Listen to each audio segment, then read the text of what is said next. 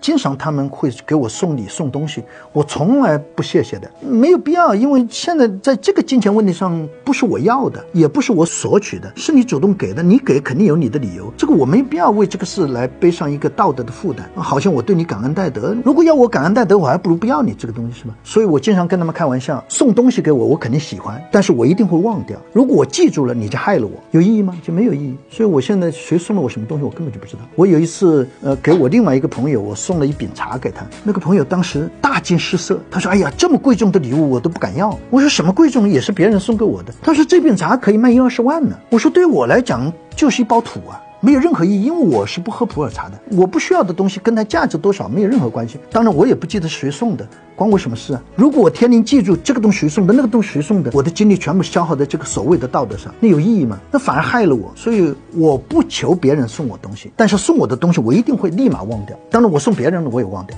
我也不记得。